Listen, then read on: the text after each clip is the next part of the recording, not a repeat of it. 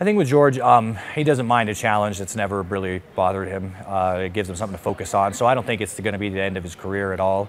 Um, he's already retired anyway, so he's got time to rehab. Uh, I, I see he probably will come back. It would be my guess, an educated guess. I'm not, not saying it 100%, but uh, if I know Georges, he, he, might do another fight or two just to do it. Um, but he's a guy that, that, he's a warrior all the way, and he's a guy that likes challenges. And I think that uh, if he's got to rehab a knee, then that's what he's got to do. If he's got to keep the belt, that's what he's got to do. If he's got to earn it back, that's what he's got to do.